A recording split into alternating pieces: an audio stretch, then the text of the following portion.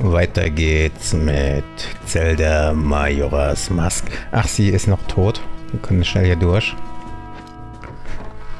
Und uns hier weiter umsehen. In der Piratenbucht. Ah.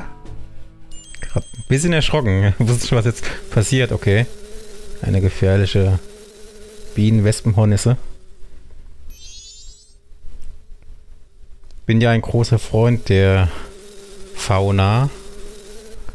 Aber Insekten sind so ziemlich ganz unten in meiner Beliebtheitsskala. Ich habe auf dich gewartet. Und, hast du die restlichen Eier gefunden? Nein, aber nur weil... Was willst du mir damit sagen? Wir werden zum Gespött der Leute, wenn bekannt wird, dass uns das eigene Beutegut gestohlen worden ist. Ja, aber, weil. Heißt ja weil oder meinten die nur äh, weil? Naja, egal. Dort, wo uns die Seeschlangen angegriffen haben, war das Wasser so eigenartig trüb.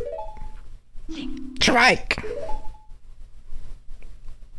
Der richtig aus dem Boden gespuckt vor Schreien. Deshalb also können die Zorros keine Hilfe holen. Die Zorros müssten bereits verzweifelt auf der Suche nach den Eiern sein. Ja, die Zorros haben einfach keine Eier. Wenn wir uns nicht beeilen, werden sie das Rennen machen. Vier Eier haben wir hier. Danke für die Info.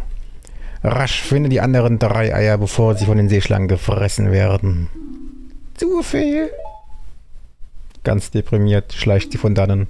Warte, aber eine echte Anführerin weiß natürlich, dass sie ihre Mitarbeiter nicht so gehen lassen kann. Mitarbeitermotivation ist das Zauberwort. Die Zorreier sind der einzige Hinweis auf den Wirbelsturm, der über der Bucht hängt. Wenn es wahr ist, was der Maskierte sagt. Dann sind wir bald im Besitz des Schatzes, der im Tempel im Auge des Sturms ruht. Die haben echt mit dem Horrorkit geredet, oder? Dann haben wir für den Rest unseres Lebens ausgesorgt. also bewegt euch und findet sie jetzt. Jawohl, Ma'am. Zu Befehl. Ja, das ist, die haben einige hierarchische Strukturen hier eingebaut in diesem Spiel. Später kommt da auch nochmal sowas. Aber ich will jetzt nichts vorwegnehmen für die Leute, die vielleicht das Spiel noch nicht kennen. Falls es wirklich noch geben mag. Kommt wahrscheinlich jetzt wieder öfter vor, weil das Spiel jetzt so alt ist. Wenn dann neuere, jüngere Leute nachkommen, dann kennen sie das eventuell nicht. Dann kann ich nur empfehlen, spielt das unbedingt. Das beste Spiel überhaupt. Hier aus haben wir einen recht guten Überblick. Ich glaube, dass man durch diese Gitterstäbe problemlos einen Pfeil schießen könnte. Verrat mir doch gleich, was ich tun soll. Okay, ja, ich meine, das ist ja offensichtlich, was ich tun muss. Erstmal hat man die Biene reinfliegen sehen. Und jetzt soll ich noch einen Pfeil durchschießen können. Ist ja klar, was jetzt kommt. Das war nicht so schwer rauszufinden. Eins der leichteren Rätsel. Und scheinbar haben sie die Fliegenklatschen verlegt. Und deswegen müssen die fliehen. Die Gunst der Stunde, die wird ausgenutzt. Aas genutzt. Ein Anker auf der Tür. Das sind echte Nautiker. Die leben mit dem Wind. Wie bei Windweger. Zu Windweger hätten die eigentlich auch gut gepasst, aber da gab es ja nur diese Kinderpiraten. Aber es hat zu dem ganzen Thema eigentlich auch besser gepasst. Ähm, wo muss ich rein? Let me think about... Ja, bin ich denn dumm? Wo ging es denn rein? Irgendwo in die Richt Richtung. Da bin ich gerade rausgekommen, wa? Peinlich, peinlich. Ich meine, da ich gucke noch kurz rein, sorry. ich habe ein bisschen die Orientierung verloren. Aber wir haben es ja nicht alt. Nein, das ist richtig. Mein Gedächtnis. Die Dinger kann ich auch mit Goron kaputt hauen. Ich hätte auch zuerst hier reinkommen können, aber da wäre ich nicht weit gekommen. Da wäre ich nur gleich ins Gefängnis geflogen. Kann ich in die Suppe hüpfen? Einen Schluck nehmen. Die sieht so lecker aus. Fließender Tod. So sieht das aus. Okay, nehmen wir mal ein bisschen das, was sich hier drinnen verbirgt. Ich glaube, das wird uns auf unserer weiteren Reise sehr nützlich sein. Oh ja, die beste Waffe überhaupt. Der Fanghaken. Ich nenne ihn trotzdem weiterhin Enterhaken, denn hier gibt es ja nichts, keine weitere Form. Und der ist schon ziemlich lang. Ich glaube, der kannst du mit dem Enterhaken aus Ocarina of Time locker aufnehmen. Vielleicht ist er sogar ein bisschen länger. Bei Windwecker gibt es ja noch einen Greifhaken, um unterirdische Schätze zu bergen unter Wasser. Okay. Kann ich mir einen Trank mitnehmen? Nein? Dann halt nicht. Warum eigentlich? Gibt doch keinen Sinn. Da ist bestimmt irgendwas Nützliches drin. Irgendwas Piraterisches. Na gut. Kann ich den von hier oben? Ah, vielleicht auch nicht. Muss ja nicht sein. Ähm, brauche das hier und das hier. Denn da sind die Eier. Die sind immer in so einen Aquarien drin. Und werden auch gerne mal beschützt. Ich glaube sogar immer. Ich muss mich leider hier hinstellen als Zora, damit ich die Flasche benutzen kann. Und schon haben wir es eingesagt. Du hast ein Zorei in der Flasche verstaut. Das sieht nicht sehr gesund aus. Du solltest es rasch von einer fachkundigen Person untersuchen lassen. Das ist die Person, die wir noch nicht besucht haben. Das ist der Typ in dem Anglerhaus, Fischhaus. Jedenfalls der bei der Eulenstatue. Ähm, wir gehen erstmal jetzt ohne Zora weiter, damit es schneller geht. Ähm, das war die Taste. Und jetzt fehlen nur noch sechs Eier. Aber in diesem dieser Festung nur noch drei. Aber trotzdem muss ich noch ein zweites Mal herkommen, weil ich noch drei Flaschen habe. Jetzt muss ich halt überlegen, oh oh, das war vielleicht ein bisschen wagemutig von mir. Einfach darunter zu springen. Ich habe nämlich keine Felsmaske an, die mich ja unsichtbar macht. Kann ich hier noch hoch? Glaube nicht. Dann gehen wir direkt hier hoch. Eigentlich muss er nur einmal im Kreis durchgehen. So schwer ist es nicht, hier die Eier zu finden. Quasi in jeder Himmelsrichtung.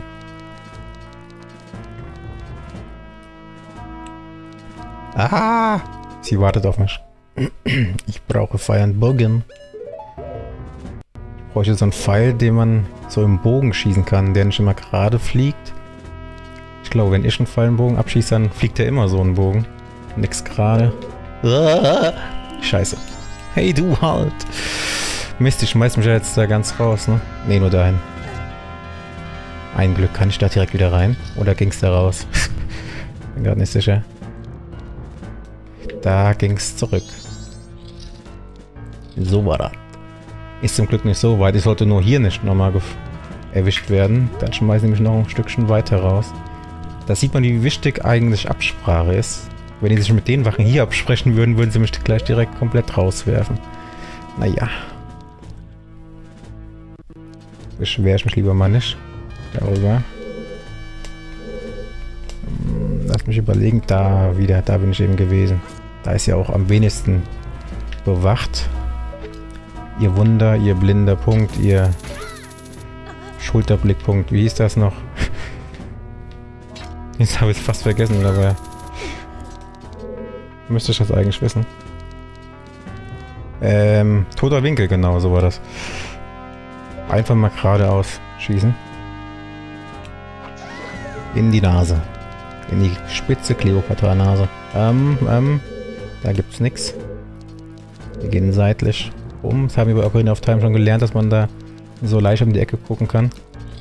Bei den verlorenen Wäldern mit den bösen Typen als Erwachsener. Oh oh. Aber mit der Schmiegelklinge geht das ganz leicht. Halt! Das erfordert einiges an Mut, um in unsere Festung einzudringen.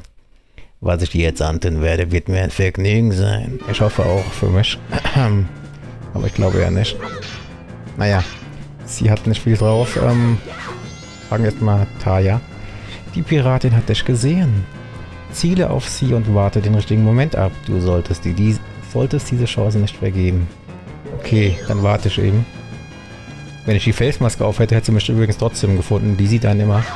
Okay. sie ist doch gar nicht mal so schlecht in Verteidigung. Die sind ja eher mehr auf Angriff programmiert. Au. Ich glaube, die kann nicht diesen Spezialgriff, um mich ins Gefängnis zu schmeißen, wie die aus Ocarina of Time. Aua. Mann. Uff, glaub nicht, dass es schon vorbei ist. Und eine Dekonos haben sie immer dabei. Für den Notfall. Ja, die werden wir nochmal sehen. Oder war nicht ihre Schwester? Nee, das war glaube ich dieselbe. Die regeneriert sich schnell und dann kommt sie wieder. Ah, herrlich. This is what I need.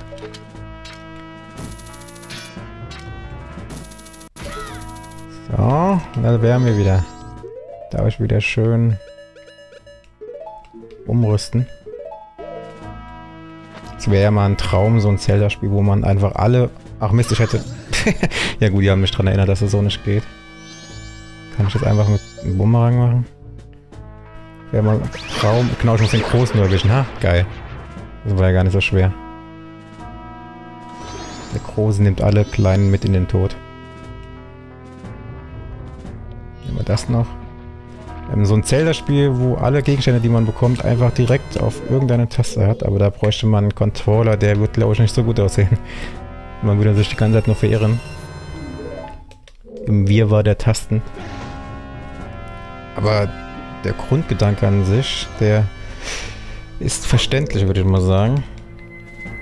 Aber man kann es halt nicht verbessern. Bei der Wii gibt es ja, glaube ich, so eine Taste mehr. Umso schlimmer ist es, dass man bei Twilight Princess auf der Wii nicht die Kamera schwenken kann. Das vermisse ich ja echt.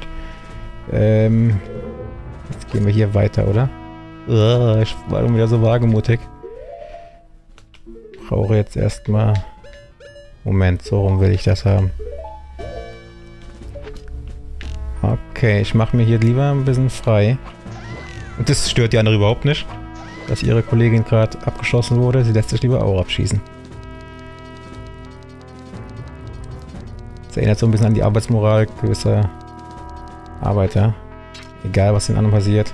Nur auf sich selber gucken. Äh, noch eins höher. Wo ist denn dann das letzte? Hoffentlich finde ich das. Ich glaube, das ist auf derselben Ebene, wie wo ich gerade bin. Einmal gibt es nämlich hier die Möglichkeit reinzugehen und dann noch auf der gegenüberliegenden Seite. Auf derselben Plattform. Falsch gesagt. Hier geht es nämlich raus. Aber gut zu wissen, naja, ich kann mich auch einfach teleportieren gleich. Dann laufe ich ja nicht. Manuell raus. Wir leben hier im... Was für ein Jahrhundert ist es eigentlich? Fantasiejahrhundert. Es wurde aber nie gesagt, glaube ich, oder? Wann das? Hilfe. Wie soll ich denn hier zielen? Was? Seht ihr das? Schießt der auch? Ne, er schießt nicht, er nimmt nur den... Was ist das denn? Wie geil. Aber wenn er auch noch schießen würde. Er schießt sogar. Ah, wie geil. Das kenne ich nicht. Ich habe wieder was Neues gesehen. Ah, das habe ich noch nie gemacht. Ich hatte immer die scheiß Felsmaske auf. Das macht voll Fun. Warum gibt es das nie wieder? Ich glaube, das ist der einzige Raum überhaupt. Wo man so geil zielen kann. Das hat ja richtig Spaß gemacht. Halt. Sie hat sich schnell umgezogen und gebadet. Es erfordert einiges an Mut, in unsere Festung einzudringen, was ich jetzt antue, werde mit mir Vergnügen sein. Mit ihrem grünen Lippenstift. Ja. Sagt Haya jetzt was anderes? Immer nur Piraten, die haben keinen Eigennamen. Macht er das gar nichts aus? Eine super Special Attack. Ja. Aber mit so Hosen könnte ich auch nicht gescheit kämpfen. Da bin ich echt kein Freund von. Deswegen laufe ich lieber in Shorts rum. Und Hasenohren. Uff, glaubt nicht, dass er schon vorbei ist. Äh. Mich schon nicht so. Schön. Hier noch irgendwas zu finden. Sieht nicht so aus. Guck mal in die Luft. Das sind so Details, die sind mir sonst nie wirklich aufgefallen. Gerade wenn man nicht aufnimmt, rennt man einfach gerne mal durch. Aber gerade eben der Raum, wie geil ich zielen konnte. Allein dafür lohnt es schon, da mal wieder zurückzugehen. Die haben das nie wieder angewendet. Diese Schießphysik. Vielleicht finde ich es auch nur so toll, weil es neu ist und eigentlich ist es total scheiße. ähm, den muss ich wieder... Ah, nicht so schnell mit den Hasenohren. Mit dem Entehaken. Wir sollten einfach wieder ignorieren. Glaube, das ist das Beste. Zack. Das letzte Ei, bevor ich hier erstmal raus muss. Und hinunter. Lass mich doch in Ruhe. Bin doch ein Freund. Ich mag Mushas. Nicht wirklich. Ich glaube, ich hatte es noch nie gefangen. 100% Pokémon bedeutet für mich immer, oder bedeutete für mich immer bei Rot, Silber und Gold lediglich die Arenen zu schaffen und die Top 4. Ich glaube, das wäre mir zu großer Zeitaufwand. Dann auch noch alle Pokémon einzusacken. Aber irgendwann mal vielleicht. Zumindest bei den ersten beiden Generationen. Danach, die interessieren mich eher weniger. So, die muss man jetzt erstmal abgeben. Ja, ich habe mir das vorige Video auch nochmal angeguckt. Ich habe mich schon ein bisschen gewundert. Da war ich am Anfang ein bisschen verwirrt, offensichtlich. Ich habe nämlich halt Hymne der Zeit gespielt. Moment, nicht wieder verwirren. Schädelküste. Ich habe die Hymne der Zeit gespielt, statt die Ballade des Kronos. Das lag aber auch irgendwie anscheinend an den Tasten, die da irgendwie nicht gleich reagiert haben. Dennoch ist es mir nicht aufgefallen. Aber man wird halt älter. Selbst Link. In Ocarina of Time war er als Kind noch jünger. Deswegen kann er Epona jetzt auch als Fohlen quasi reiten. Das konnte sie bei Ocarina of Time noch nicht. Maritimes Forschungslabor. Erforschung der Wasserqualität und maritimer Lebensformen in der Schädelbucht. Dann sprechen wir doch mal mit dem Besitzer vom Maritimen Forschungslabor. Das ist der oder die, ich bin mir nicht ganz sicher, ob, ich glaube, das hier ist ein der. Ocarina of Time dachte ich mal, es wäre eine sie. Jedenfalls sehen die ziemlich gleich aus. Später, spät dran Sie sind, Herr Yoda. Was bloß machen diese Zorras? Hm? Was ist los, Kleiner? Du hier bist, um zu sehen, die Zorra-Babys schlüpfen? Ich auch bin sehr aufgeregt, aber noch nicht eingetroffen sind die Eier. Ein bis drei Tage es dauert, bis Zorras schlüpfen aus ihren Eiern. Aber sie sterben könnten, wenn sie nicht liegen in diesem Aquarium. Die Wassertemperatur gestiegen ist. Der Grund dafür, dass seltsamer Wetter sein muss. Hast du keine eigene Heizung da dran?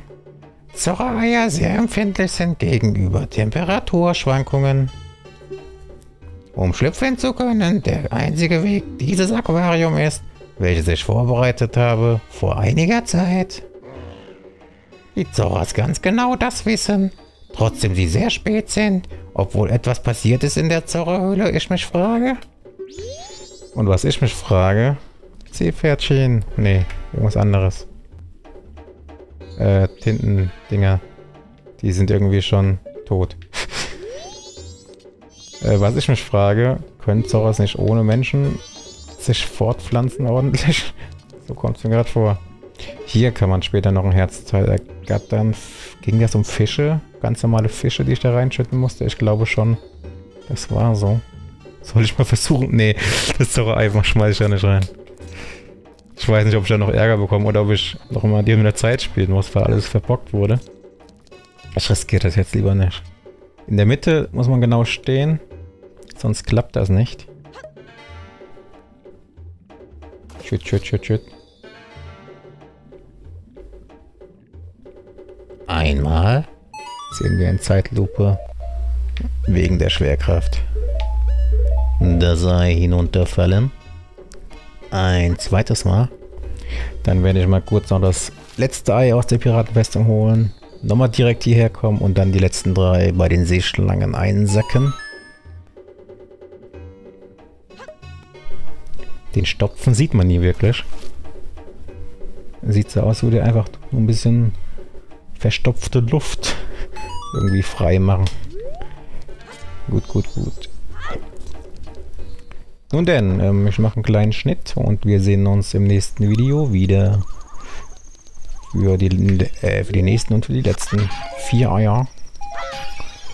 Und dann geht's voll ab. Die Fee kann ich leider ignorieren müssen, tun, weil ich die leeren Flaschen brauche. Also dann.